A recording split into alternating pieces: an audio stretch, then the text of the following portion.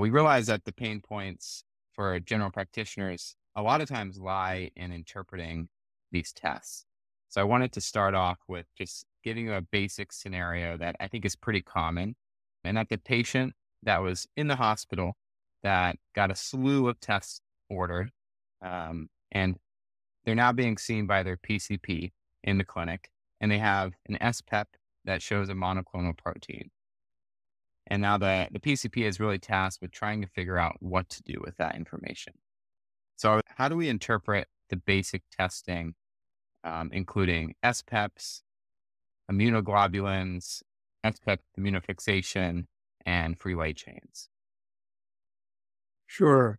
So, to start off, you know, what we're talking about are clonal plasma cell disorders. Uh, these are plasma cell proliferative disorders that arise from a single clone. And um, just as we see with any other cancer, you have the pre-malignancy, which will be monoclonal gammopathy of undetermined significance, and then the full-blown malignancy on the other end of the spectrum, which is multiple myeloma. Plasma cells, by virtue of their nature being immunoglobulin secreting cells, when you have a clone, it's not just that the clone is going to expand and cause a malignancy, that's the problem, but also that the clone is going to make immunoglobulins, which are active antibodies and uh, can be easily detected. And so you have uh, a secreted product on top of the clone increasing in size. Plasma cell disorders are quite common. About 5% of the general population in the United States above the age of 50 will have a monoclonal protein. And the monoclonal protein is simply the antibodies made by a single clone of cells, and, it, and they're all of the same, same type. So they really stick out like a church spire on an electrophoresis gel. So, um, since it's so common, anytime you order an SPEP, you have a 1 in 20 chance somebody's going to have a monoclonal protein. So I usually say order the test when you're suspecting multiple myeloma or hmm. related plasma cell disorder like amyloidosis or Waldenstrom's macroglobulinemia, and not to do the test just as part of a routine workup because you will be faced with a positive test that you're not sure how quite to interpret. The serum protein electrophoresis is basically you take proteins in your, you take your blood, spin it down, and you uh, separate the proteins in the blood uh, across an electrical field so they migrate according to their size.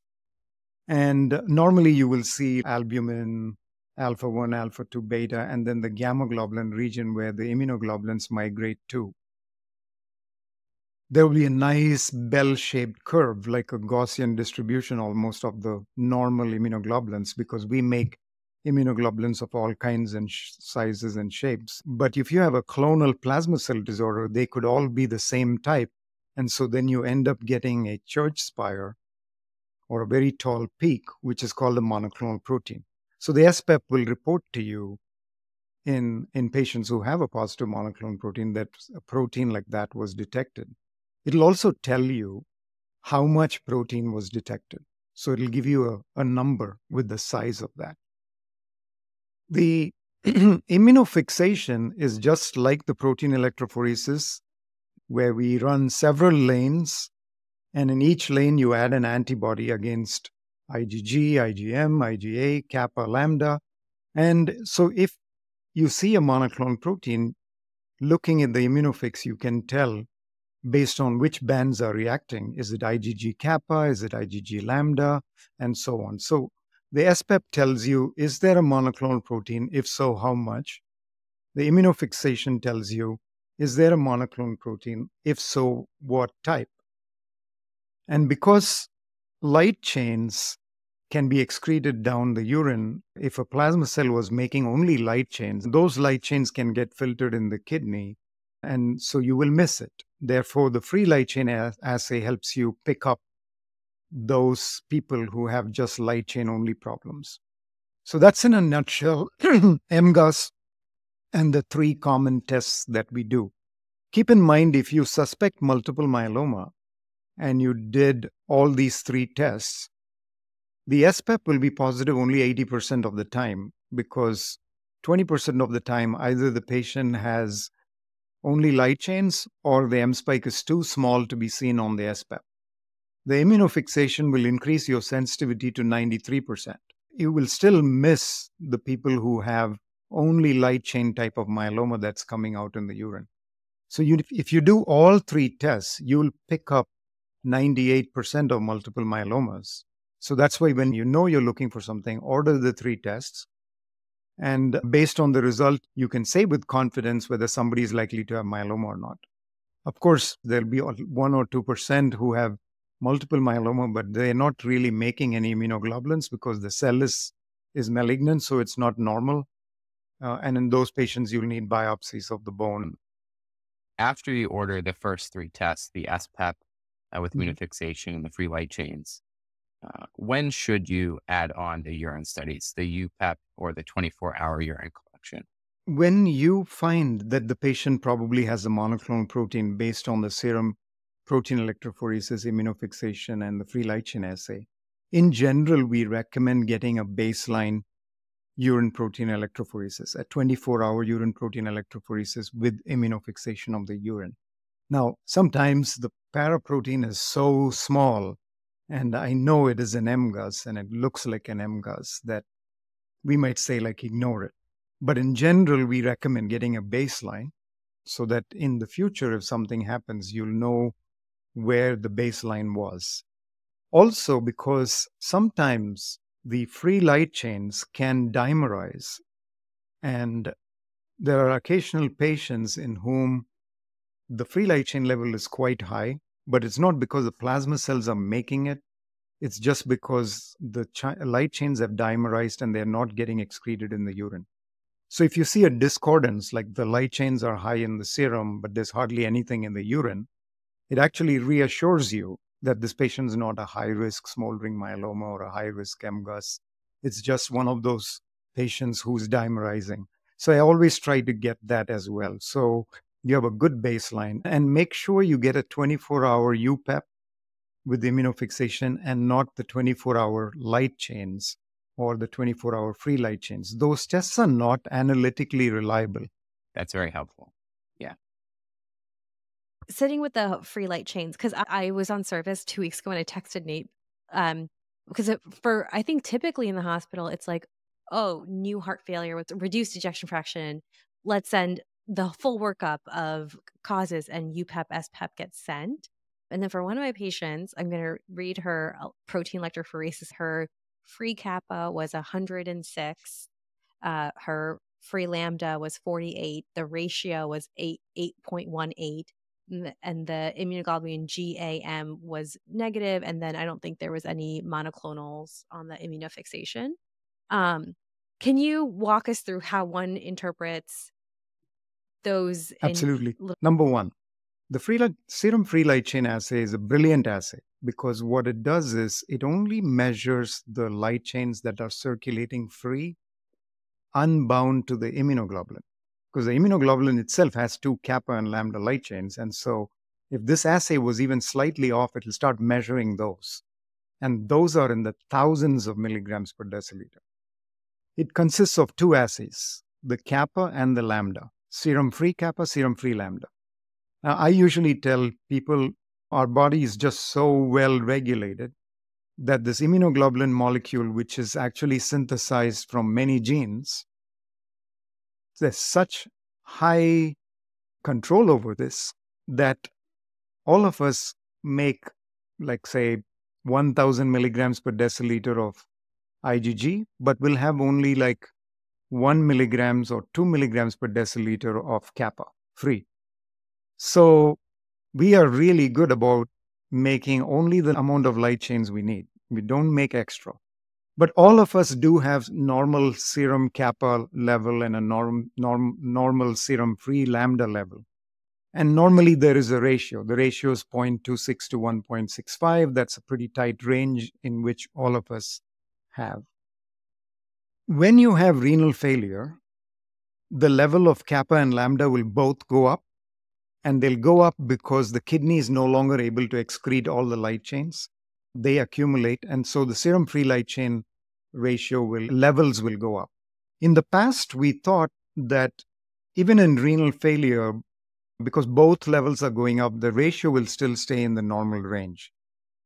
But now we realize that the ratio is somewhat perturbed as well because you know it's not like the kidneys excreting everything equally and so what happens is the reference range is not quite the 0.26 to 1.65 that the lab reports so your patient has a high kappa high lambda but the ratio is almost close to normal like 2.18 which is close to 1.65 um, and so up to 4 I think is just normal. So in your patient's case, I'll just say patients got an elevation of serum free kappa and lambda with a very borderline abnormal ratio that's consistent with just renal failure. It's within the renal reference range. And so reassure them that there is no clonal plasma cell disorder. I'm even more confident because you have other metrics. Your IgG, and M are normal. There's no serum monoclonal protein. I'm more confident that's what's going on. It's very easy to reassure them. Now, if you have a monoclonal process, what will happen is the kappa will be out of proportion to the lambda, or the lambda will be out of proportion to the kappa. Usually, it'll be kind of like night and day, not like so close to the normal range. And in UpToDate recently, as well as in the Annals of Internal Medicine article, unilaterally, I've said, like, don't worry about free, free light chain ratios that are less than eight. If you do your reference range, it'll be 0.125 to 8.0 that'll reduce the number of referrals and and it could be monoclonal but it's not like going to cause a problem. It's very low risk. And if there are no other red flags even if it's a clonal problem you can just you know say it's probably a very low risk MGUS and leave it alone.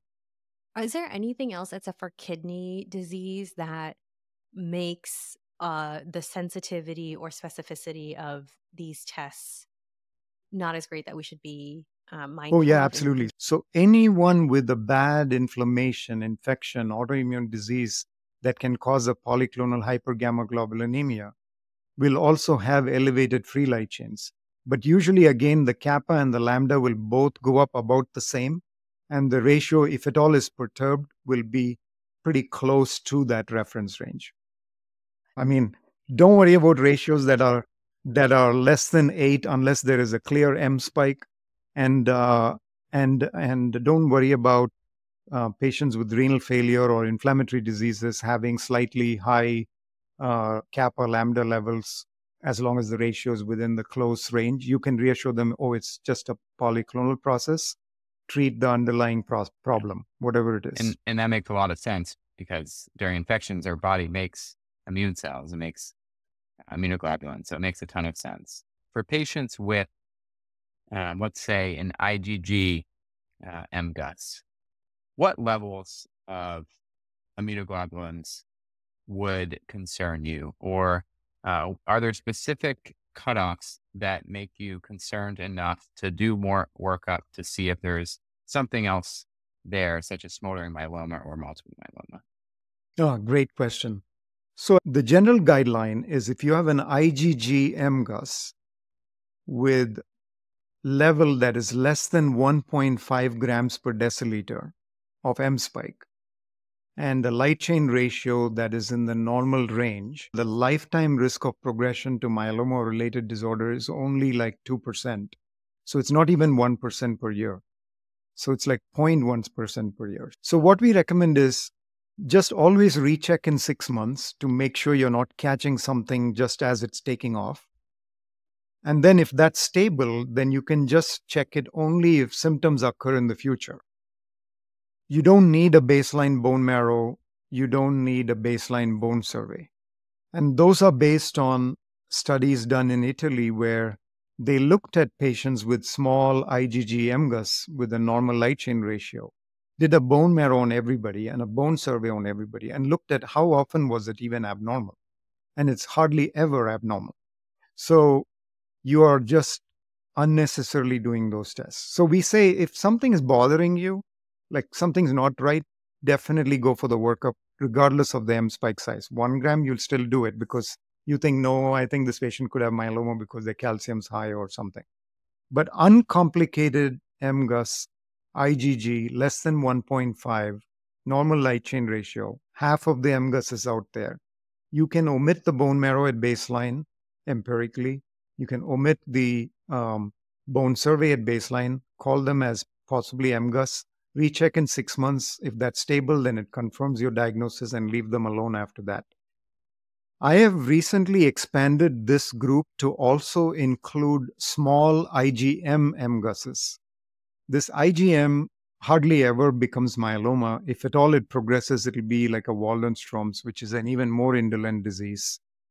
And then finally, the people who have light chain only MGUS, in the sense the serum SPEP and immunofixation are negative with no IgG, A, or M, um, but the light chain ratio is abnormal. So if it's less than eight, I say omit the bone marrow, omit the bone survey, just recheck in six months, and if it's stable, leave them alone.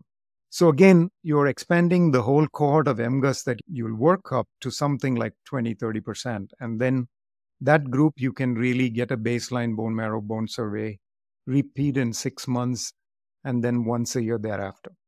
Great. Thank you. That was very clear. And one specific cohort of patients the general practitioner might see a frequent amount is a patient that technically meets the criteria for one of uh, the CRAB, whether it's the anemia or renal dysfunction. Um, but we don't think that necessarily the polyclonal disorder is driving that issue. There might be a plausible alternative explanation, such as diabetes or hypertension. In those patients with a level less than 1.5, would you still recommend additional workup, such as a bone marrow biopsy or a skeletal survey? No, I wouldn't. I mean, unless it bothers me. If I have a clear explanation why the patient is anemic or why their calcium is high or whatever the renal function dysfunction is due to, then I wouldn't attribute it to the plasma cell pro- proliferative disorder. So the key, key point with the myeloma diagnostic criteria is that the hypercalcemia, renal failure, anemia, and bone lesion must be felt related to the plasma cell disorder. If I have a good explanation for the anemia or a good explanation for the renal failure, then we are not compelled to blame the plasma cell disorder for that.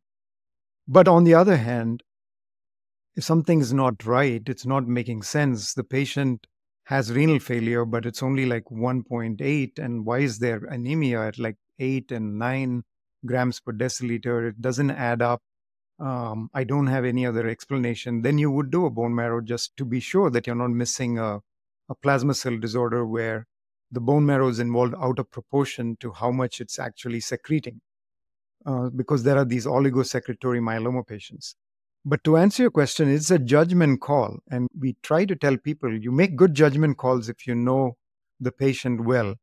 So, monoclonal gammopathy can cause renal failure by causing glomerulonephritis, not just myeloma, but just a separate problem. So, you look at the whole picture. And again, anytime you're in doubt, just get the marrow and the bone survey to make sure. So, keep your eyes open. And if you're worried about the patient, forget the M spike. If it's small, big, it doesn't matter. Just get it done.